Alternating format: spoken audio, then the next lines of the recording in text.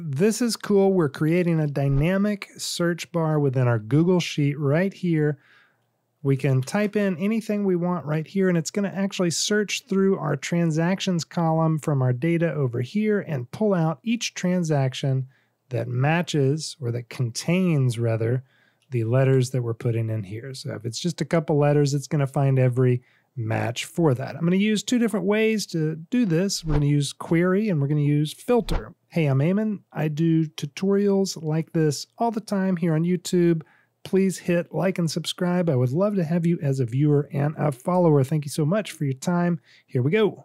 We've got transactions. These are actual transactions from January and February of 2023 from my personal account. Unfortunately, these are falsified amounts. I would like to have 500 grand, but I don't.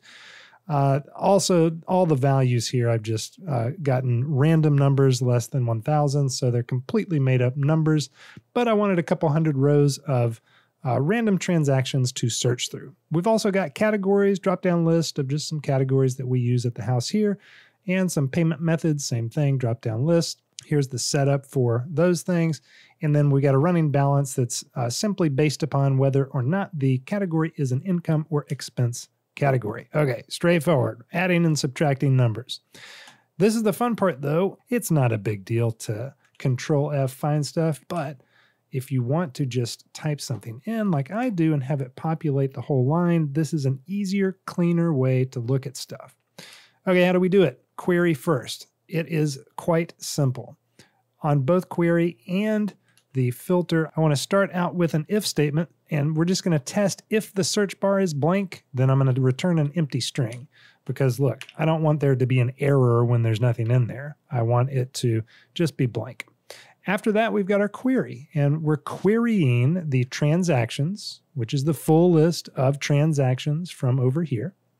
In filter, we're doing the same thing. We're filtering the transactions right after our if is blank statement. So all that's the same no matter which version of this you want to do. In query, though, we have a query statement in between quotes. Okay.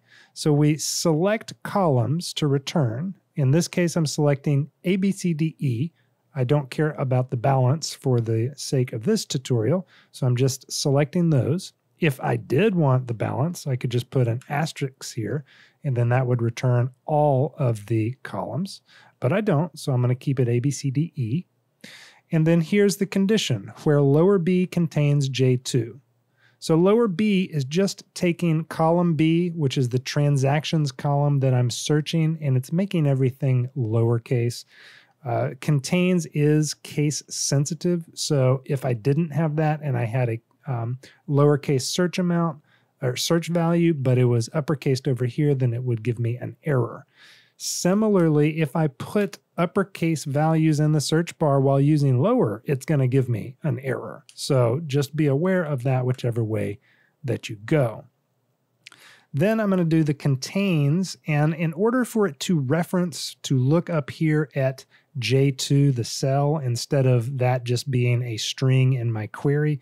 We've got to do single quotes, double quotes, ampersand, and then type J2. And uh, when you do this, it'll turn a different uh, color. The query statement's going to be in green here, and then this will turn uh, orange, is in the case of right here.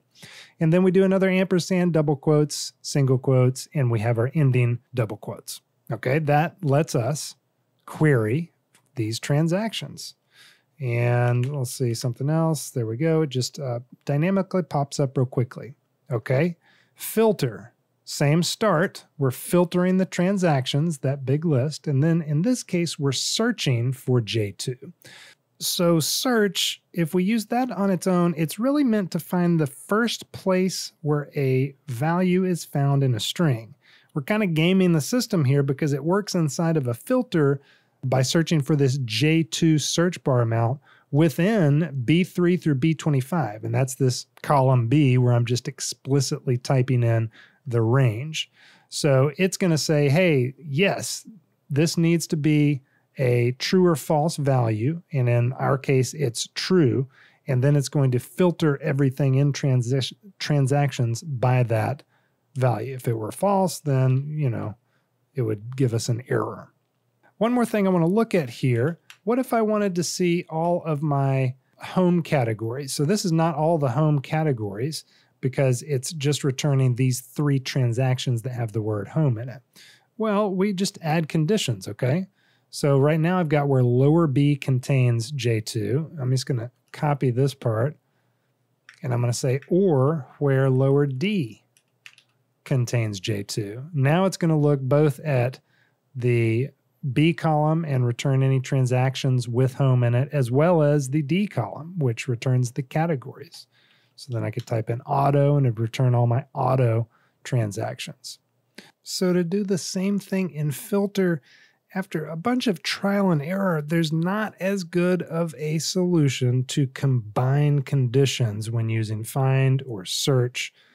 I did manage to do it by just using these equal signs. So I'm searching through the transaction range and I'm searching through the category range for J2. The problem with this um, is that it's got to match it exactly. So it's not going to return me any partial answers. That's just going to, if I put HO in there, it's not going to do anything. It's got to be HOME. Uh, the only advantage of query is that it's not case sensitive, so either one will work just fine.